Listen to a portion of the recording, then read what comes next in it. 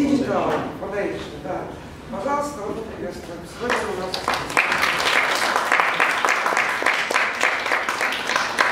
Thank you.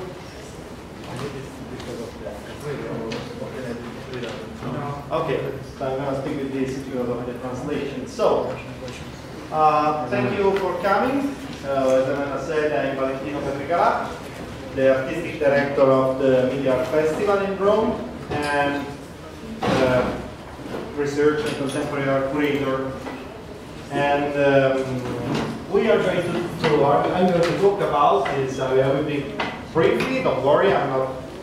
I won't be long about media art within the environment. We've done a case study, but actually, it's going to be uh, mostly on the social impact of media because we we always speak about talk about you know media relationship between art and technologies, and we always for sure focus on the um, the influence that media art had in culture, in uh, contemporary art work, or in cinema, for instance, in other relations. But we don't know much. We haven't actually uh, yet investigated the importance that this field has for uh, innovation and society more in general. Because when an artist uses technologies, it doesn't, it doesn't use only a simply tool, but at the same time to give a new interpretation of the medium itself.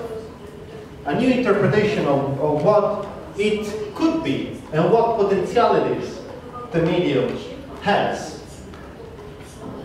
And because an artist that uses technology doesn't use a simple tool, but it uses complex tool like this, for instance, you know, these are complex tools, these are media, around which there is a war made by engineering, companies, societies, entrepreneur, and the artist ran into this world,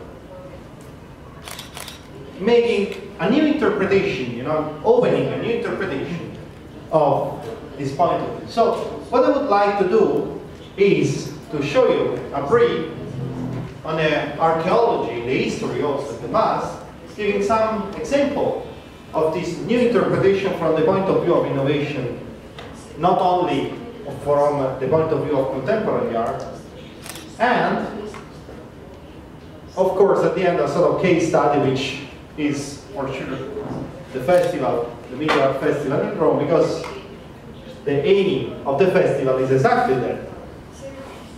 Is uh, an attempt to bring together different world like the contemporary art world, cinema, the, the, the sound world, and the innovation and the world of technology.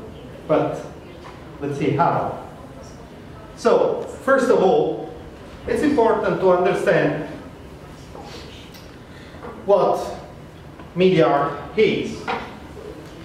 Because uh, we use many terms, or actually we uh, use many terms to define this complex um, word. You know, for the cinema we have, we have one word, two or three word maximum, but actually when we say cinema we know suddenly what is cinema. With media art we have terms like digital art, interactive art, new media art, but actually I choose media art because in my opinion today it's the more complex and uh, the best term to define this word because digital art is uh, very 90s in my opinion and uh, it is a term that divides what is art and what it is not hard based on technology. No, this is digital. This is not digital. New media art actually is very useful for in, for English because um, you know that media in English is everywhere. Also, the the painter is a medium. Uh, but actually, if we look deeper, we see that there is anything new in the practice of art. The artists put into question the idea of a linear evolution of cinema media. Because they don't care if this medium is new or old. They mix all of it, creating an horizontal point of view of media, not a linear point of view of media as the market does.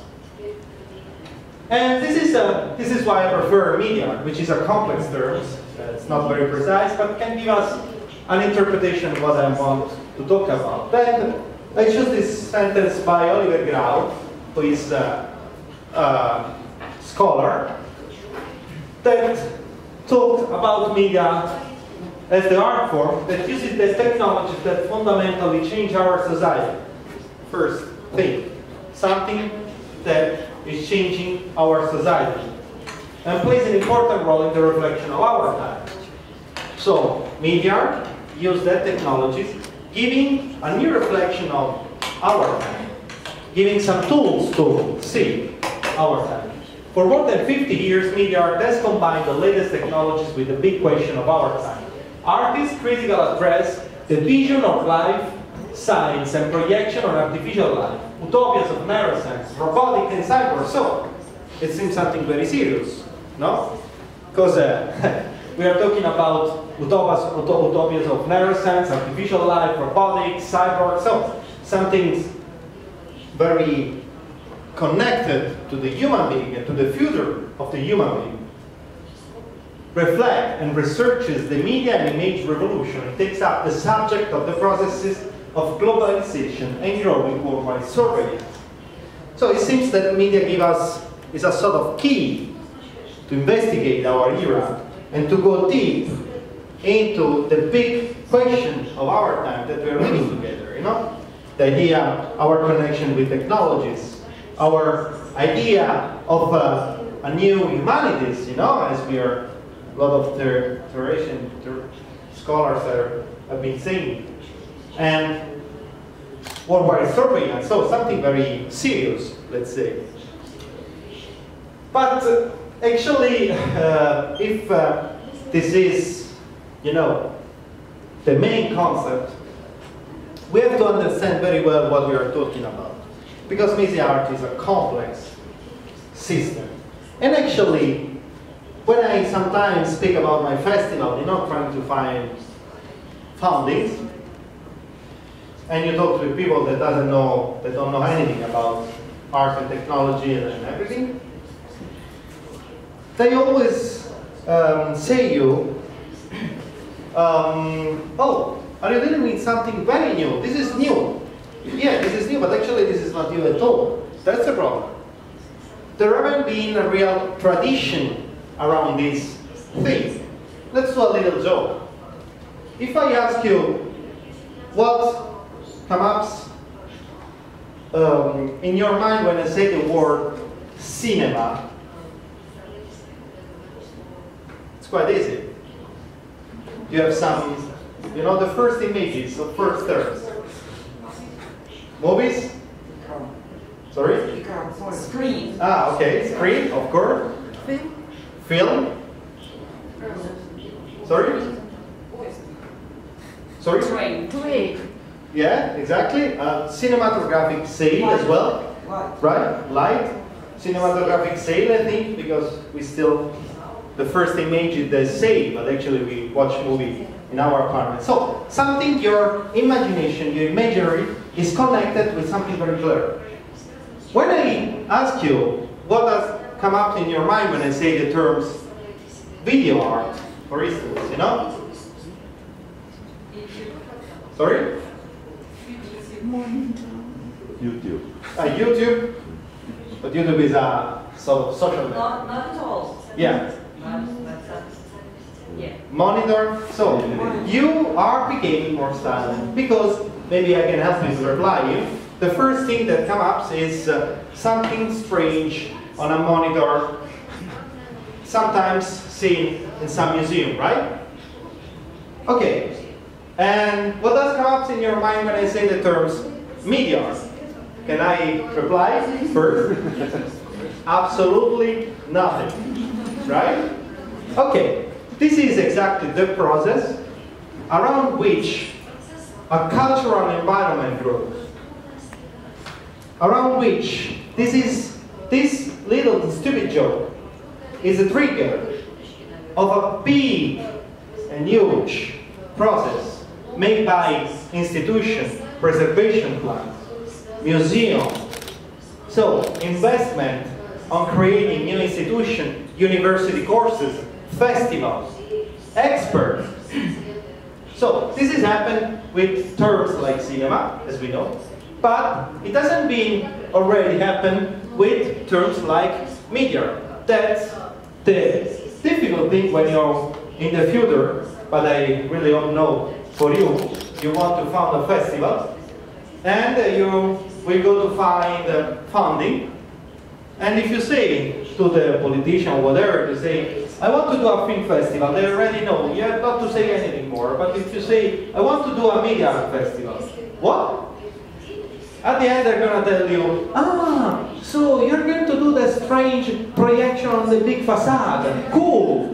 They say, okay, if you give me money, yes, we are going to do that, you know?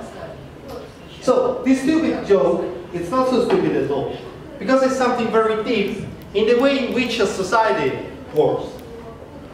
And this is why it's not a new at all. There is a big tradition, and the cultural environment is made by this tradition. If we find the tradition of all of these, and we understand the importance of these, we're going to understand very well, and we can make through a culture around these things. So, let's go to see some little example, you know, jumping into history in in, uh, let's say, if we want to be cool, archaeological point of view. But it's a good division between archaeology and history. For instance, uh, this is uh, a not very well known artwork, let's say. Did you know it? No. Ah. This is the Michael Naimark. Michael Naimark was a filmmaker and artist in the 70s. He started to work with uh, MIT labs. So he started to work uh, with engineering, with a team of technicians, experts, you know. So in MIT, MIT was very important at that time as well. And he had an idea. Why don't we create an interactive map of a city? Why don't we create a uh, new idea of orientation, of orienting into the city? Because what he wanted to do, what he wanted to do is create and give to the spectator, to the audience, a new way to perceive and to feel and live the city. And then he, with the technology of that time, not stop motion, he created with a thing the Aspen movement, an interactive map of Aspen. You can see people sat down here, and then they could, could move, was able to move into, you know, stop, left, right. It was an, an artistic insight to give another way to live uh, the orientation, to give a new experience, which is exactly what today we do every day. This sort of new experience is, is inside us today. It's completely normal for us to orient ourselves with a map. It wasn't so banal at that time. It wasn't so simple because at that time you had some map drawn, you know? And so an artistic insight gave a new way to interpret it artistically the city and at the same time he created something useful for the society something new for the society. Something that afterwards it has been used and it is part of our society. And uh, the interesting thing is that this is very important in my opinion, but actually the history of, let's say, media art at that time uh, is based mostly on video art. Nigel Pike, Vasulkas, you know, for sure, they were very important. But uh, this experience is not so famous. And actually it's because uh, there are still a lot of prejudice about artists working with engineering, and it was an MIT product. So it's an ethical product. It's a, it's a real ethical product. But actually, this is uh, the Jeffrey Shaw Legible City, and uh, this is a bit older, and uh, this gives a little more, a little deep interpretation of uh, the city, because the former one was interesting, the Michael Naimark. It was very interesting because um, because the parallel with the, with the Google Street View. But actually, uh, in this case, uh, Jeffrey Shaw created these uh, and where you can get into a city made by wars. The topography of the city, the topography of the city was made exactly respect exactly the topography of the city where the installation was installed. If it was installed in uh, Karlsruhe, for instance, the words, the topography, the words were put exactly revealing the street of Karlsruhe. And you can go into the city and read every time differently the city. You can give new interpretation because you can mix the word differently. I'm also talking about this example because uh, afterward you will have an incredible example of Antoni Abad, Blind Wiki. We change everything, we will change everything in our life. You will see, no? Well, I don't know. So, and, uh, and it has been made in Manhattan, Amsterdam, and Karlsruhe. And the idea is always the same, you know, give a new experience to the audience, a new perception. Sorry. Are you comfortable there? Maybe you can see there's one.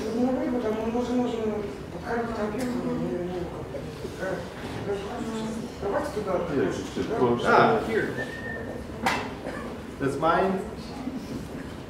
No, please, because uh, I suffer for you. This. And, uh, but, uh, but, um, and uh, there are some places if you want. Okay, but actually, it's not something. Um, Oliver Grau said, said uh, in the, fif- the like, latest 50 years, but actually, media art is something deeper. We can trace back the archaeology even before, in my opinion, even at the end of 800th century, but uh, this is a more, uh, it's a long story. Actually, we don't have enough time, but actually, we can arrive at the Thomas Wilfred Clavilux. Who ever heard the Thomas Wilfred Clavilux? Nobody. This is quite interesting as well because uh, what we see here, we see uh, kind of you know the, theater scene, no, right? We have here projection, like in the cinema, you know? It reminds us the cinema sailors, we said. But actually, at the same time, we have here a person playing a piano. But if we look better, we see that the piano is exactly. Please. Oh. That's uh, the Clavilux. Uh, he didn't like the, the, the but actually, it, the piano is exactly in the same direction of the string. So, what is the Clavilux? You know, of course, it is written there, so it's easier for you. But actually, was an idea of this inventor. He was an artist. He was a creative guy, uh, which works with artists, which had some insight that uh, it was a, a, sort of a mix of engineering and, and an artist, you know? And uh, he created these mechanics, things, that can project image in real time with music. No? You understand? Meanwhile, we play and we listen to music, projection appear. So for the first time, it's not a recorder image that appear on the screen, like cinema did. But it's a real-time performance. And this is for Imbos Clavilux, which is the main instrument to create Lumia. For, for, for Thomas Wilfred, Lumia was the art of light, which is, for him, the most important thing. It's not electronics, it's not digital, there is a mechanics uh, mechanism creating and he did a lot of tour around Europe, USA. He was a European, but he, lived in, in, in, USA and uh, doing performance all the time. And somehow I give a, an experience to the spectator. They, they didn't know at that time, which is, if you want to see in the, we know very well this in art and in entertainment, like that, for instance, this is a concert. We have digital technology, but of course we know also in the DJing practice, in a lot of artists who does uh, real-time image and and uh, sound. Now you can see how the present is complex because we are now we are not talking about the past in this moment. We are talking about now, this moment, here, us, our imagery.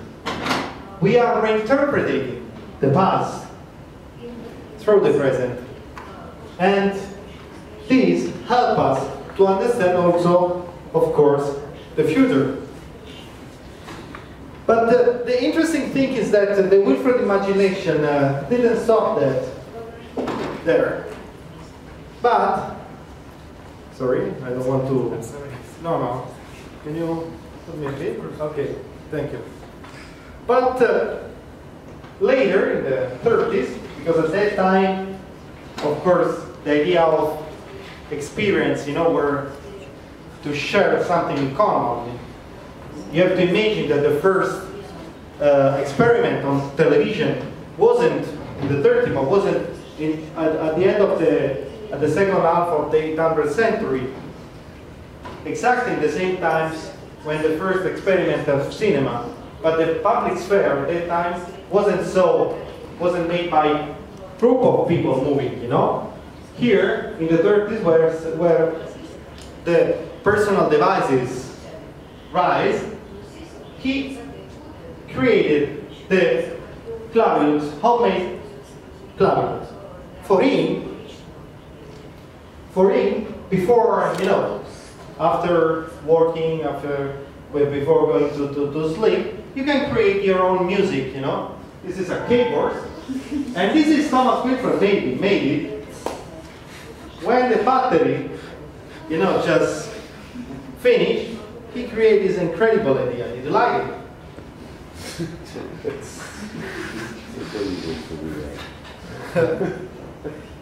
and I don't know how to. And okay, so if it's going to if it's going to shut down, um, it will be a Thomas Wilfred quote. But actually, so uh, through a keyboard, you can create your music in your house, you know, which is exactly what we know today very well. Again, artist, an artist anticipated through art something, a new experience, a new idea of um, make experience of media. Which is, um, now we are jumping to nowadays more or less, this is the end of the 19th. You know Toshio Iwai? No. Have you ever heard him? No.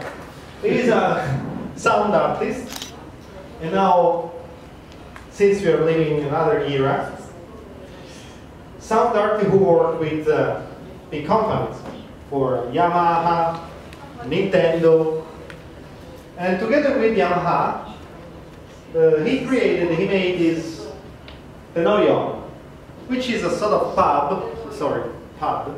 it could be interesting if it would have been a pub, right? Yeah, yeah. And uh, this is a sort of uh, pad to create music, homemade music again, which is exactly the launchpad today. But uh, he made this for himself, for his practice, arts, artist practice, you know. This is why he did a lot of performance with this at MoMA, at Tate, at Ars Electronica, everywhere. But Yamaha, he at the same time he made something that uh, was uh, could be used for the market. This is why Yamaha put on the market this. They sold this object made by an artist. Again, this is a strange relation. It's an artist that anticipated and looked forward.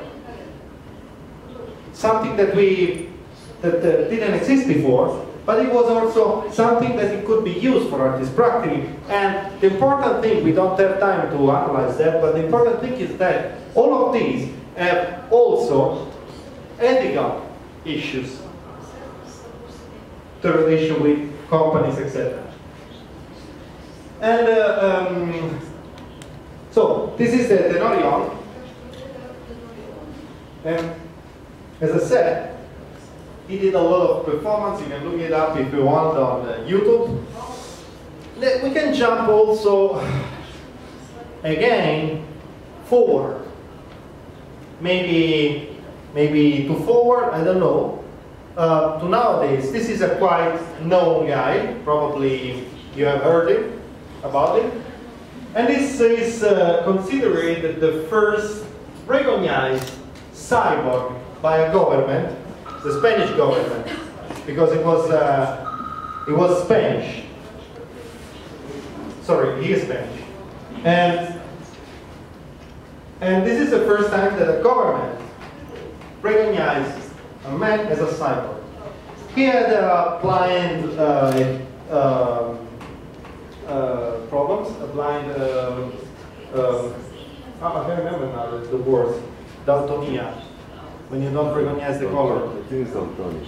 No, it's a daltonics. Okay, so here is um, daltonics, and uh, he he implanted um, uh, this antenna into his uh, skull here, and this antenna change the color of the environment in sound. Actually, and uh, he is an artist. Before to do that, he was an artist. And he spoke with some engineer and he said, I have this idea, what we can do together. And they created this. I must say that he started to do many performances with this.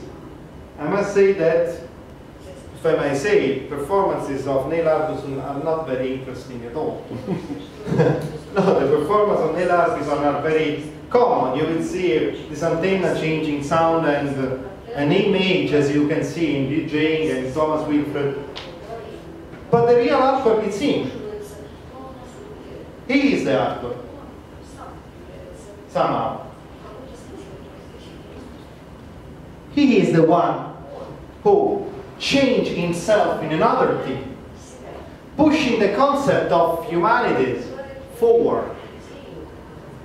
Probably nobody will put this antenna, he is going to be the only one. He probably will- have a lot of problems physically, not because we don't know any implant technology. It's easy to say cyborg, but let's see what's happening if you do that.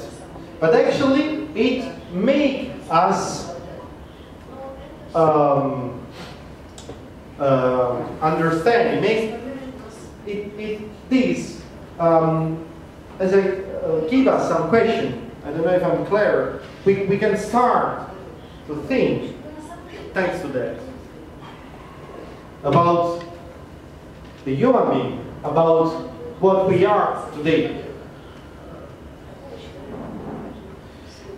And this all, all of this, I would have put on that, of course, blind wiki, but uh, since uh, Anton is going to talk just after me, I think that he, he wouldn't uh, appreciate if I anticipate something, so I don't say nothing. But you won, no problem. Are you sure? So it's the worst application and output ever. no, I'm joking. Mm. So something, but this is okay. Something's change in our conceivement of what is the relationship between art and technologies.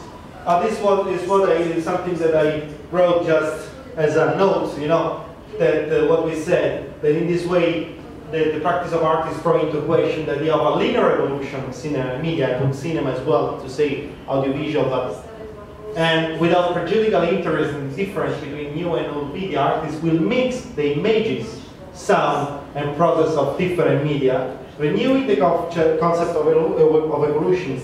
Market, you know, give us this is uh, this mobile, this mobile, mobile is gonna be old very fast.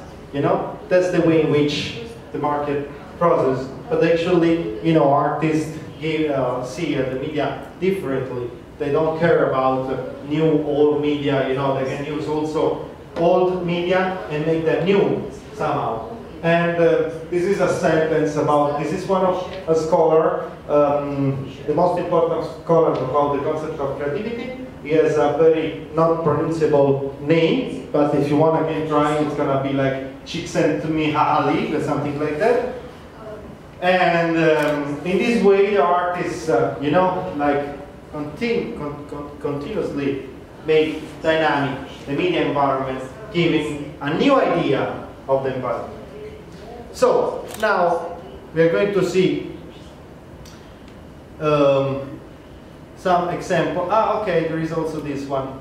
If you want to see, uh, this is a quite interesting sentence by Sean Cubitt and Paul Thomas about uh, how artists can help us to understand media. You know, if we say television today, we still think we still think of something unity. You know, made by uh, made something the television for us like cinema, as we said, but actually television is made like this uh, mobile is made by many different technology and tradition itself. You know, this mobile, for instance, uh, is made by the tradition of cinema because we can do video, we can do photograph, but also the tradition of uh, uh, telephone because of course with telephone messages, etc. And then if we look at the media like that, we can see a very complex uh, uh, uh, every single media is a complex media and giving a new interpretation of media itself.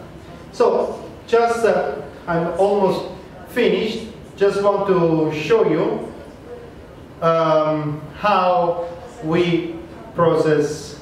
This is the festival. It's going to be the 17th and the 19th. Now give it, you have to do some picture of me talking. Anthony. Oh, yes. Uh, no, because I have to justify that I'm here talking about the festival, not because I'm a big, I have a big ego. And um, uh, this is the, um, the, the Middle Festival, 17 and uh, 19 May. And uh, we work, we, we're trying to work like that, you know. It's a contemporary art, it's made, festival is made, uh, the, the, the venue is, uh, the principal venue is the MAXXI Museum, which is a contemporary art work museum, and there are many different other venues, but the, the exhibition will be it's mostly in the MAXXI Museum. And um, we do a lot of project also before artist residency. We, we work with institutions, cultural institution, museum, scholar, blah, blah, blah. But we also work with companies. How? For instance, you know, trying to this, this match that, you know, the result today, the, the, the big companies create uh, they, they, they produce every time the new glasses, you know, glasses, glasses, you know, immersive, augmented reality. But at the end, they don't know what to do with that glasses. That's the thing, you know. They don't know absolutely. They don't have content at the end. They don't know really what to do with uh, um, um, Epson Moverio, HoloLens, Microsoft, uh, the Oculus Rift, uh, Vive, etc. So the idea is also to say to that that probably they can connect with artists all of these. In this way, creating a new market. In this way, creating also for artists a give to the artists tools, expensive tools that they could be used as a potential um, uh, potentiality for creativity. All of this is not it. Um, that, the important thing is that uh, it's not uh, the companies that uh, uh, that lead the practice of artists. That's the first thing and the most important thing. So this open ethical problem, but this is also could be very stimulating for the future. To finish, we're gonna see a little video uh, of the festival where you can see it as video made by Rai News. Rai is a principal Italian TV service and uh, of the last edition and uh, it's gonna be in Italian but it doesn't matter because uh, it's not important the, the what, the, what we say because uh, uh, you know we say like me you know we, we say a lot of stupid things so the important thing is that uh, um, imaging and to see and to understand also what is the festival is let me see if this is the right video 90 miliardi di euro, tanto vale l'industria culturale e creativa in Italia. 250 miliardi vale l'indotto ed è il turismo principale beneficiario. Oggi è possibile, grazie alla tecnologia, esplorare nuove frontiere e avvicinare l'innovazione agli studenti. Vogliamo che la tecnologia sia qualcosa che avvicina a noi. This is uh, me very very tired. Uh, il mondo digitale porta a Roma il Media Art Festival con performance sonore, video arte, design applicati. So you see, sound art, video art, you know, mix of different ways to deal with technology. E abbiamo progetti fatti con il Dipartimento di saying that we have a progetti made, a project made during the year with the uh, physics department of La Sapienza. quindi le tecnologie più avanzate, or and uh, artist residency, Epson, and also all media like like uh, the two things that we have seen. They come from the end of 800th century, and this is uh, Yanis Kranidiotis. This is Joseph DeLappe, that uh, he made Dot Candy. He's an American artist, and uh, he did the Gandhi's March uh, in Second Life. Every day he marched in Second Life. And we try also to make to meet to match with the contemporary art world because today it's not important to create new borders because we know that today uh, what is media, digital, blah blah blah. But the important thing is today, in my opinion, the connection with the contemporary artwork as well because uh, every artist today use technologies in every biennale, in every festival. So it's not only the important thing is also connect the two worlds that uh, they always been separated. And this is why in the center you probably saw a big uh, projection of Sigalit Landau, who is a uh, contemporary art artist, does culture as well. But, and uh, that this video, this is a very beautiful video, Sigalit Landau. And uh, this is the end of the video. And on this note, I think that I'm going to say to you, thank you very much. And uh, I don't know, I hope that uh, in the future you will found uh, not a media art festival. Thank you.